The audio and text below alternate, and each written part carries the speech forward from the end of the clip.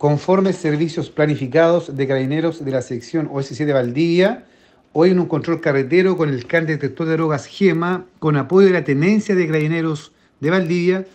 con un objetivo principal, evitar ingreso de drogas a la región de los ríos, específicamente en la Ruta 5 Sur, se logró la detención de dos sujetos extranjeros de nacionalidad venezolana y colombiana por microtráfico de drogas y tráfico,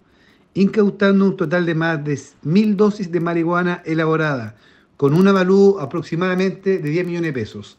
Finalmente, reitero el llamado a la comunidad a realizar las denuncias, invitando a entregar dicha información a través del Fono Drogas 135, teléfono gratuito de Carabineros de Chile, el cual es atendido por agentes especiales de los C7, quienes durante las 24 horas del día recibirán sus denuncias de forma absolutamente reservada y anónima.